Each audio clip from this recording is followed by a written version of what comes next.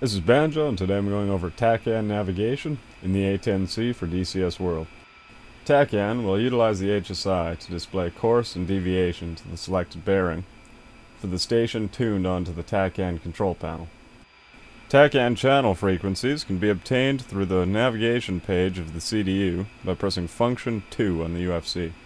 OSB10 will access the divert page, displaying a list of nearby airbases which we can select, displaying any TACAN or ILS stations for the airbase. TACAN channel frequencies can also be obtained through the map view in F10.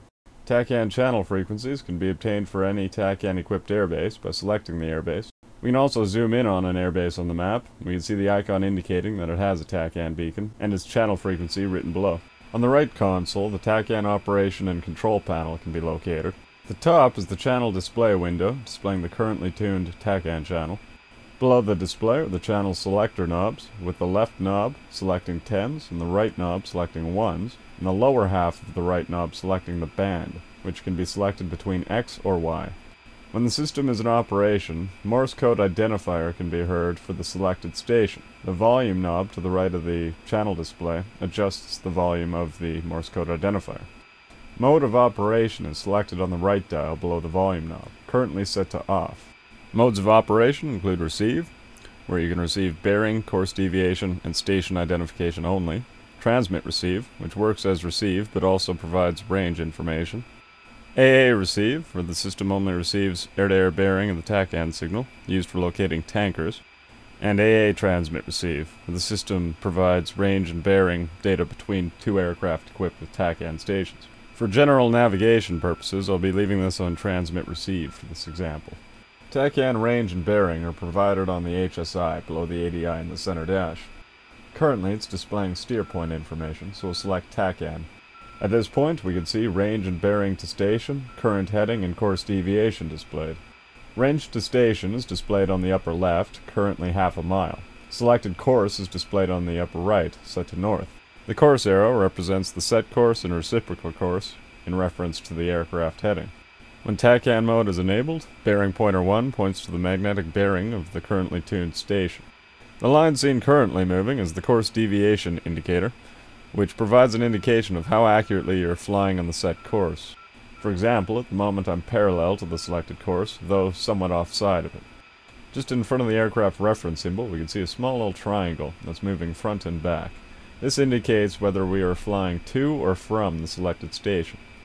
So at this point, with the TACAN operation and control panel set up, and the HSI explained, I'll dial in the selected course I intend to fly of 345, and we'll get started. As I roll past the station, we're able to see the moment I cross over the 345 radial. The course deviation indicator will cross past me and switch from being in front of me to behind me. So once I'm up, I'm going to turn towards my selected course. Now if I turn straight for the course, I'd be running parallel to the radial rather than flying directly on the radial. So I'm going to keep turning another 45 degrees to come at it and intercept the radial, at which point I'm going to turn on to my selected course. This will put me right on the radial, rather than running parallel to it. One thing to note is I'm flying away from the station on 345, so I'm flying the 345 radial from the station. If I were flying the same radial but towards the station, I'd be flying the 165 bearing on the 345 altitude, radial. Altitude. Remember that a radial always radiates from the station. At this point I'm intercepting the 345 radial from about a 45 degree angle, so it will happen fairly quickly. We can see the bearing to station rotating slowly along the left side of the HSI, once it nears the reciprocal course of my currently selected course, I know that I'm close to intercepting the radial, so at that point I can begin my turn. As we can see, the course deviation indicator closing in on the reference symbol of the aircraft at the center of the HSI. The goal here is to fly the selected course so that the course deviation indicator centers up on the aircraft symbol. We can see I've slightly overflown it, so at this point I'm just going to steer a bit right of my course until the deviation centers up on my aircraft symbol, at which point I'll turn back onto the selected course. Now that the course deviation indicator is centered up, we can be sure that I'm flying the 345 radial from Kobuleti Airfield. At this point I'm going to tune the TACAN into the station at Senaki Kolkhi, which in this case is channel 31. So as we did before, we'll go back to the TACAN operation control panel and adjust the channel frequency selectors so that we have 31X.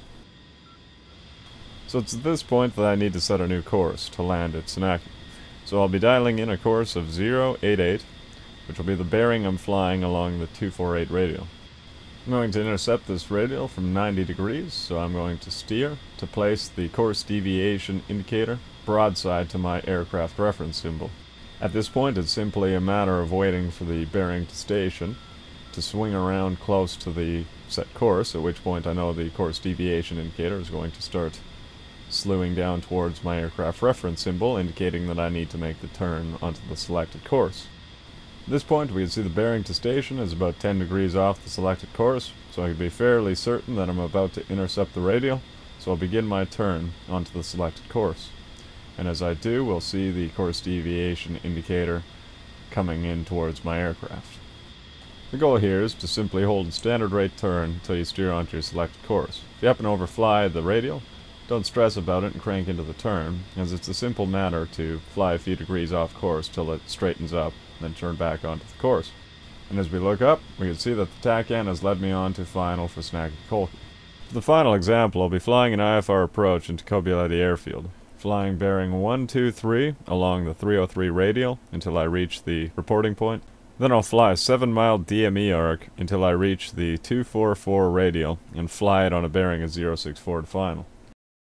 With the TACAN channel selected, we'll dial in our selected course, in this case 123, and I'll make a turn to intercept the radial.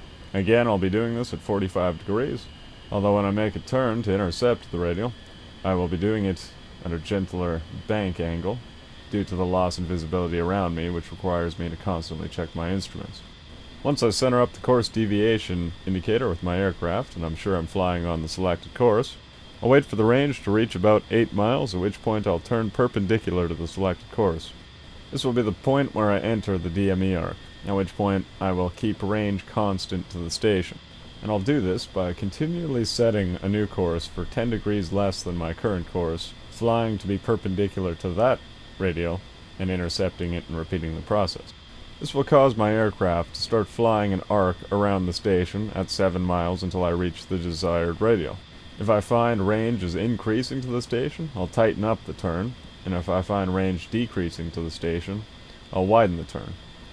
I'm going to repeat this until my course setter rests on 064, at which point I'll turn in and start flying a course of 064 along the 244 radial. This will set me up on the approach course for Kobuleti Airfield, allowing me to activate my ILS and come in for a landing. At this point, we'll skip ahead to the final turn. Rather than dialing back just 10 degrees, I dial it all the way to the final approach, which is 064. So at this point I will fly so that it's perpendicular to my aircraft, although rather than overflying the radio, I will turn into the selected course. And this will place me on my final approach course to land at Kobuleti. As the course deviation indicator starts slewing in towards the aircraft symbol, I begin the turn onto 064. Again, it doesn't matter if I overfly the radial, as I'm 7 miles from the airbase, I have plenty of time to straighten it up. So I'll just hold a standard rate turn until I reach the course that I have set. The important things to remember when flying the Arc are to keep your range to the station constant, and to monitor your airspeed and vertical speed, in an effort to keep them constant. At this point that I'm within a degree or two of being centered up on my course, so I could activate the ILS and begin a landing. At this point we can verify the position on F10 and see that we are indeed on final approach for Kobuleti Airfield.